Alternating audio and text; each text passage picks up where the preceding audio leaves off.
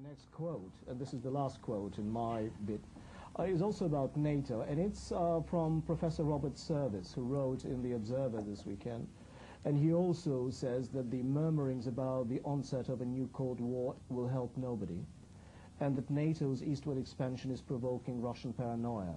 But in your book, you write that the eastward expansion of NATO and uh, Euro-Atlanticism has not been easy, uh, but yet has been very positive. And you quote Poland as an example, you quote the Baltic states. So should Russian uh, protestations be just dismissed? Well, I think one has to distinguish between what one might call manufactured hysterics and real Russian fears. Now, if one was looking at the map, one would say there are two things that, I'm looking at the statistics, there are two things that Russia ought to be really scared of. And one's China and the other's Muslims. And those are big threats for Russia. You have the most resource-rich part of Russia is the most thinly populated, and it's next to a very thickly populated part of, um, part of China and the Muslim birth rate in Russia is very high, and the Slav Russian birth rate is low, and Russia has very troubled relations both with the North Caucasus and potentially um, with, with, with, Central Asia. And so it seems to me those those are real fears. I think it's perfectly reasonable to talk to Russia more seriously about nukes, and in fact I do argue very strongly in the book that the American administration has been wrong to um, assume that dominance equals stability it would actually be, it was crazy, I think, to go to rip up the ABM treaty and not press ahead with START 3, and both sides would be better off with deep cuts in their strategic nuclear arsenals, and it's quite reasonable, I think, for Russia to try and attract some attention on that. And I think it's also very reasonable that as, if Russia is the second biggest space power uh, after the United States, to try and have some kind of international legal, legal order in space. So on those things, I think Russia has a case. I don't think the case on NATO expansion stacks up. It, NATO is, um, the expansion of NATO to Poland, first of all to Central Europe and then to the Baltics and the Balkans, has always been accompanied by this kind of breast-beating hysterics in Russia about this is going to be an absolute disaster. But the effect has actually been very positive. This has calmed down these countries. Do you really think, if you remember what the Baltic states were like in the mid-1990s, with these excitable amateurish militias, with mutinies happening, with all sorts of dangers of provocation, and now you have small, well-disciplined militaries that are part of, um, yeah, heavily integrated into, in, into NATO. And it seems to me that must be good for Russia to have stable, democratic, well-governed neighbours. And the spread of the EU and NATO eastwards has created a zone of stability and security and prosperity, which one would think Russia would be pleased about. And it seems to me rather troubling that Russia find, gets on very well with countries when they're dictatorships. So it has excellent relations with Uzbekistan and Belarus and yet finds it so difficult to get on with the democracies on its borders. Uh, my question is about President Putin. You mentioned uh, judo as one of his uh, talents, uh, but in your book you have a very interesting chart uh, which uh, shows his popularity, his rise from zero to hero, if I remember correctly. Yeah. How did he do it?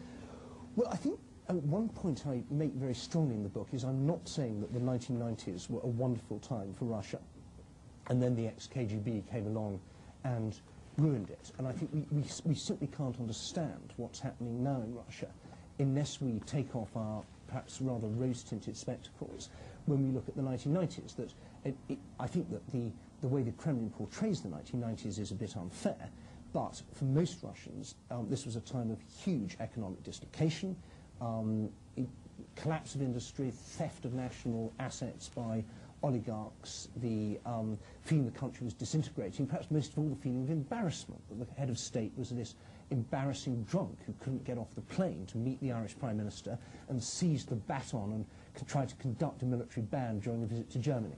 And I think any country would find um, that was a rather um, was rather a repellent period. And I think what Putin has done very successfully is to portray his rule and the rule of the ex-KGB people around him as um, not only the con a contrast but also an antidote to those uh, to those 90, 90, 1990s. Now, the way it happened, I think, is quite troubling. And as I point out in the book, the apartment bombings of 1999, I think, are one of the big loose threads that, if they were tugged hard, a lot of this sort of image of, of Putin as the, as the great leader would come undone. The other big thread which should be pulled hard is the corruption and the question of beneficial ownership. Who owns Gunvor? Who owns Skylink? Who owns Megafon? Who owns Gas? I could, the list continues. But, um, but corruption and the apartment block bombings in 1999, I think, are a big loose threat. Now, what the apartment bo block bombings did was to take um, Russian public opinion and kind of crystallize it behind the feeling that the country was under attack by these apparently very well organized um, terrorists who were killing hundreds of Russians in their sleep.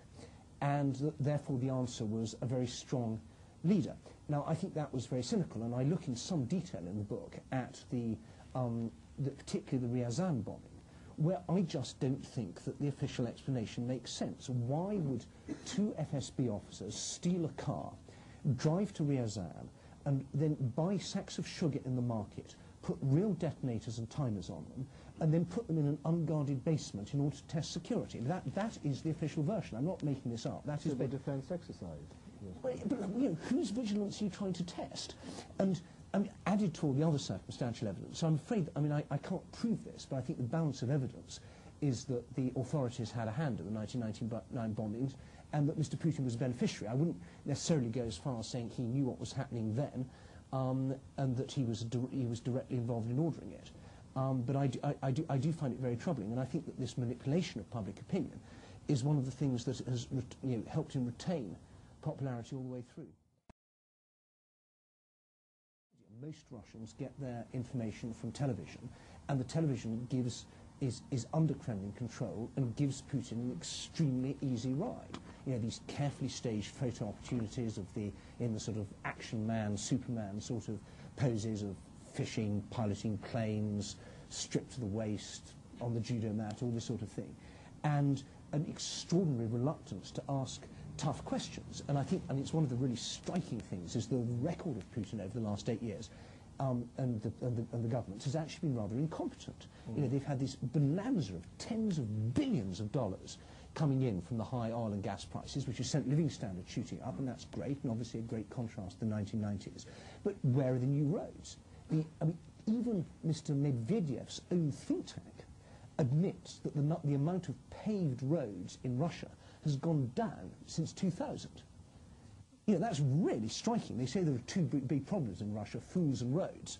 Well, I can't, you know, we can't judge the fools, but on the roads, you know, where are the new motorways?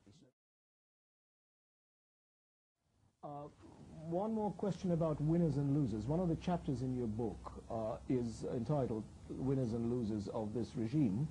Uh, the winners are sort of obvious. We know who they are. And you mentioned yourself the living standards, the uh, average earnings are up, and the rest of it. Who are the losers in this setup?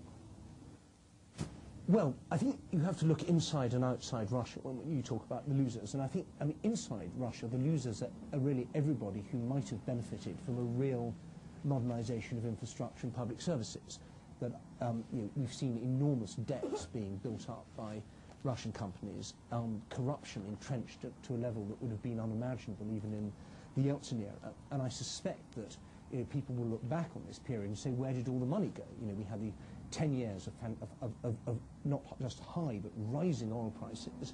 And actually, you know, we blew it. And so I think that, you know, in one sense, the losers are, are, are, all, are all Russians.